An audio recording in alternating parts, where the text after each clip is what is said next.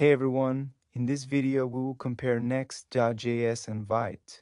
Both are popular tools for building React applications, but they serve different purposes. Next.js is a full-stack React framework that provides server-side rendering, static site generation, and API routes, making it ideal for building dynamic websites and web applications. It offers great search engine optimization support and easy setup for production deployment.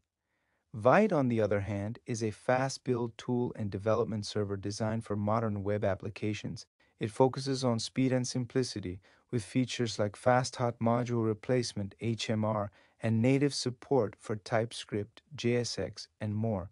However, it's more lightweight and doesn't include server side rendering like Next.js. In short, choose Next.js if you need a full-featured framework with SSR and static site generation, and opt for Vite if you want faster build times and a simple setup for front-end projects. Thanks for watching!